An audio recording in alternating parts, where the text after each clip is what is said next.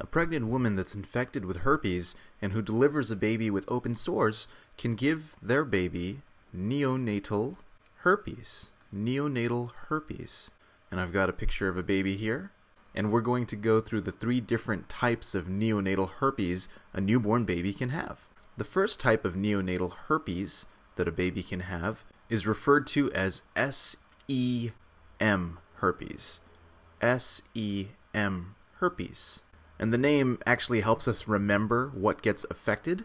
The S refers to the fact that the baby's skin can have these herpes lesions or sores, and these mainly occur wherever the baby has skin tears. So, skin tears. So, for example, if the baby was delivered with forceps, there may be tears on the baby's scalp where the forceps was applied, and these places can get in contact with the herpes lesions that a mother may have, and they can cause the baby to have sores there, like I've drawn here.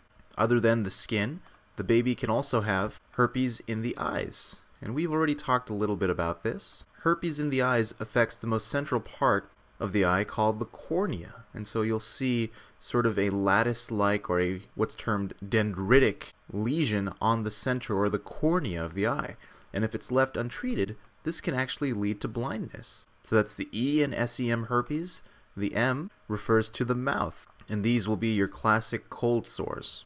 So your cold sores that can occur on the lips, on the inside of your cheeks, or even on the tip of the tongue. Now, what I hope you've noticed through these three different systems that get affected is that none of them involve the internal organs. So there's no internal organ involvement, which makes this the least severe type of the three we're going to discuss. The next severe level of neonatal herpes a baby can have is what's referred to as disseminated herpes, which, as the name suggests, is disseminated more throughout the body, which now means that internal organs are involved. And the organ that's most commonly infected or affected is the liver. So I'm drawing the liver over here, and I am purposely drawing it to be huge because the baby will have the herpes virus spread here and white blood cells. So I'll make sure to write that this symbol refers to the herpes virus. So the herpes virus will spread here, and white blood cells will fight the herpes virus here in the liver, causing the liver to swell with the incoming white blood cells and the fluid that results from it. So when your liver is affected, the term for this is hepato, hepato referring to the liver, megaly, hepatomegaly, which just means large liver. And of the three types of herpes we're going to talk about here, this type of neonatal herpes has the highest mortality, or has the highest rate of death associated with it. And finally, the last type of neonatal herpes is what's referred to as CNS herpes, or herpes of the central nervous system and that means that the herpes can spread to either the spine or the brain. And you have a different set of symptoms depending on what part of the CNS is affected. For the spine up here, what you'll most commonly see are tremors. There are these tremors that the baby will have. If you take a look at their hands or their feet, there's going to be a very steady shake to them, which makes sense because the spinal cord gives off nerves that control the rest of your body beyond the brain. Now, in the brain, though, once we have this type of dynamic where white blood cells are fighting the herpes virus up there, you can start to make the baby tired. And so they could be in a state of lethargy. So I'll draw some Z's right there because the baby is going to sleep.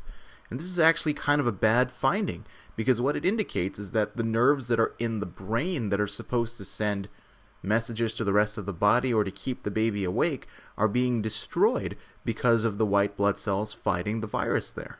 Another thing you might see is that the baby could have seizures that result from this type of inflammation, so the white blood cells fighting the herpes virus and causing inflammation. So I'll write that term here because that's an important term to keep in mind. So there's inflammation that's happening within the brain. And as a result of inflammation, you're going to have increased pressure in the brain. And the term for that is increased intracranial, the cranium being the skull, so intracranial pressure. So increased intracranial pressure, which actually has its own symptom associated with it, you could get a bulging fontanelle or multiple fontanelles, bulging fontanelles. And fontanelles are just the soft spots of a baby's skull that are still healing. Classically, there's the anterior fontanelle that sits at the top or the vertex of the skull, and it's usually very soft and it's within the shape of the skull. But sometimes, if you're having increased intracranial pressure, it will bulge and you'll see it actually as a protuberance at the top of the skull right here. And that's an indication that you have inflammation causing increased intracranial pressure in the baby.